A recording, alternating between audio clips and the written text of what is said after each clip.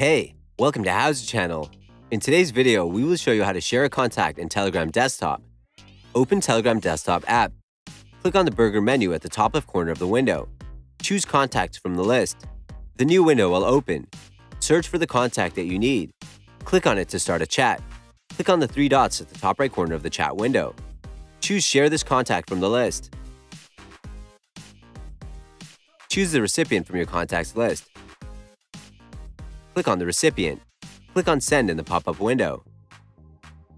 That's it. Thanks for watching the video. Please like it and let us know if you used any of our tips and tricks. Subscribe to our channel. We upload new tutorials every day. See ya!